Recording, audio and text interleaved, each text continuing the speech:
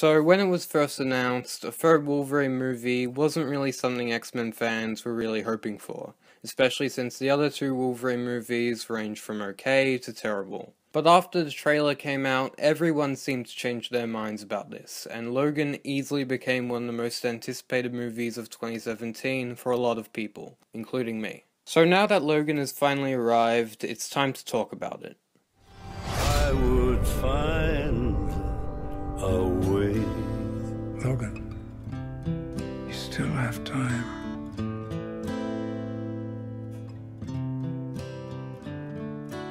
Alright, before we begin, after I give this movie my rating out of 10, I'm gonna talk about spoilers. Don't worry though, there'll be plenty of warnings, so if you haven't seen Logan, nothing will be spoiled for you. Okay, so as I said, Logan is one of my most anticipated movies of 2017, and the reviews for this movie made me even more hyped for this. And even though I tried my best to lower my expectations, I still went into Logan hoping for something amazing. And did it live up to my amazingly high expectations? Absolutely. Logan, wait, Logan is by far one of my favorite comic book movies of all time. First off, Hugh Jackman gives what is somehow his best performance as Logan. He's been great in all the other movies no matter what, but in this, he adds another layer of emotion and vulnerability that I've never actually seen in his character before. I know it's probably too early to say, but the Oscars should honestly nominate him for Best Actor, but they obviously weren't, so maybe the Golden Globes will nominate him. Patrick Stewart was also just as great as Professor X. He's always been great in the other movies, but seeing him in such a broken and vulnerable state is just so sad, and during a lot of this film, you really feel for him. Now let's talk about the new addition Laura, aka X23. She honestly blew me away. Dafne Keen gives such an amazing performance, especially for a child actor. Her character here is honestly a complete badass, and it is shocking how well they pulled this off. The supporting cast were also great in this.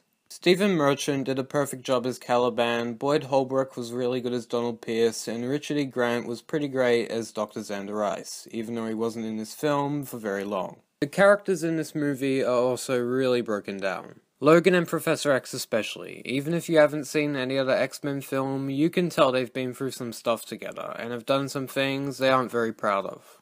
And on that note, this movie is just really emotional and kind of depressing. Even though there are a few moments of levity that break it up, for the most part, this movie is really dark. Another thing to mention, the action in this movie is just insanely brutal and violent. Going into this, I heard a lot about how it's super bloody and violent, but I kinda just shook it off, thinking it can't be too bad, this is a superhero movie after all. But when I watched the movie, it kinda shocked me how violent it was. There's lots of blood, limbs flying off, and it's incredibly brutal. It isn't as bad as, say, Hacksaw Ridge, but I would say it's more violent than something like Deadpool. Anyway, the action scenes in this are amazing. They're well directed, unconventional, and it's just so satisfying to see Wolverine's claws cut people to pieces. The directing by James Mangold is just fantastic. I'm glad the studio actually let him make the movie he wanted to make and didn't interfere with his vision like they did with the Wolverine. Anyway, the effects are phenomenal, the pacing is great, I love the soundtrack, it sounds a lot like a western in a lot of parts, and the film takes a lot of unexpected turns that end up paying off. As for the negatives, however, there really isn't that much to complain about. I don't think the character of Zander Rice was anything special in this. He didn't have that much character development, but you still understood him, and he could have been a lot worse. There was also some CGI blood, which I'm not a very big fan of. That said, it was very briefly shown and doesn't look too awful. Overall, Logan is just an incredible movie. It's badass, emotional, and a great send off to Hugh Jackman as his character. So, in the end, I'm giving Logan a 9.7 out of 10. Alright, now for spoilers. If you haven't seen Logan yet, click off right now. Alright, let's get right into this.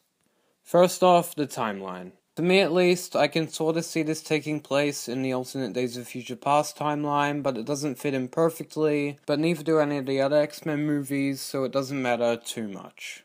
A clone of Wolverine appears in this, which was very unexpected. When he first appeared, it did kinda seem cheesy, but as the film went on, and after thinking about it for a bit, it did make more sense and it worked for this film. On that note, there's the death of Professor X. I had a feeling he would die in this, but the fact that he died thinking Logan was the one who killed him was heartbreaking. There's also the death of Logan, which I didn't actually expect or think they could pull off, but it was actually handled perfectly. It was probably the most emotional scene in the entire movie, and when they zoomed in on his grave and nothing was moving, it confirmed to me that this was it, and Logan was actually dead.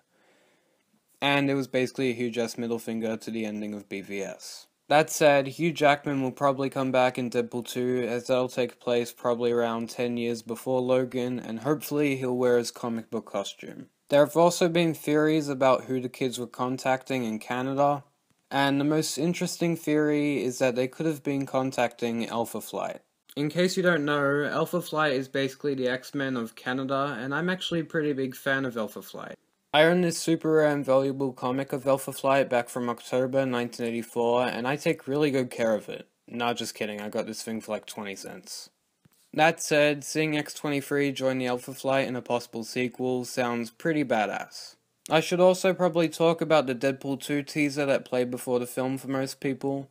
It didn't actually play where I saw the film, I'm not sure why, but luckily Fox released it online, and I have to say it was really funny, and the film will probably be great.